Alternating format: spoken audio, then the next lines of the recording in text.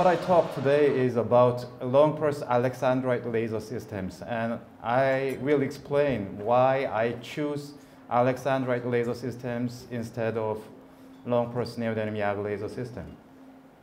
Usually, we think that um, still millisecond domain is quite short time, one per thousand, but we call it long pulse because before these laser systems, we used Q-switch laser systems in advance. So if we consider Q-switch and uh, long pulse laser system, it's almost a million times uh, longer pulse durations comparing to uh, Q-switch laser systems. If we look at the laser hair removal history, first laser hair removal is done for trichiasis, which means uh, very annoying eyelash on your eye.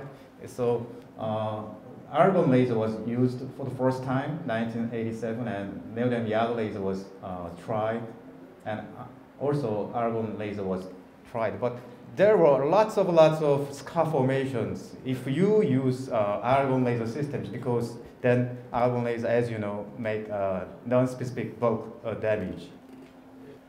This article is number one uh, article which have biggest number of patients with alexandrite laser systems.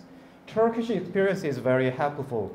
Uh, Tur Turkey doctors uh, publish many articles about alexandrite laser systems.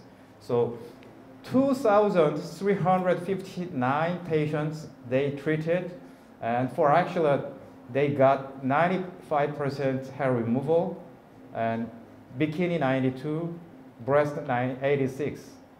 And overall uh, average hair rate is 80%, 8.6%. These indications were discussed in uh, three Korean doctors in recent user meeting.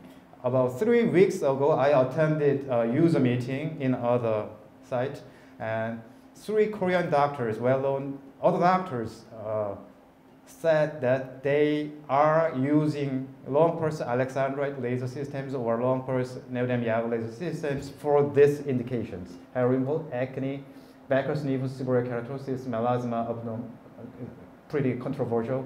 Dark circle, verruca plana, rejuvenation, rosacea, scar keloid, male face whitening. Male face whitening is very, very, very interesting. I, I was interested in this male face whitening. Uh, one doctor uh, explained that he is using pulse alexandrite laser systems, very weak, uh, powerful ones, and maybe every week treatments, uh, he can get uh, whitening efficacy of uh, male face, usually 40 years old around uh, male face.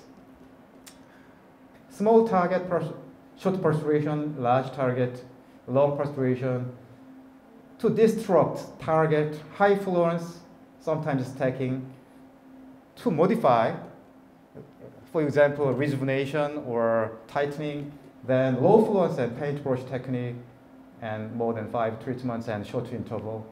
And dark color, medium fluence, light color, high fluence, and choose 755 instead of uh, uh, neodymium YAG laser system. And already Dr. Ayer explained about this. So if you, you want to use 1064 watch out arterial damage,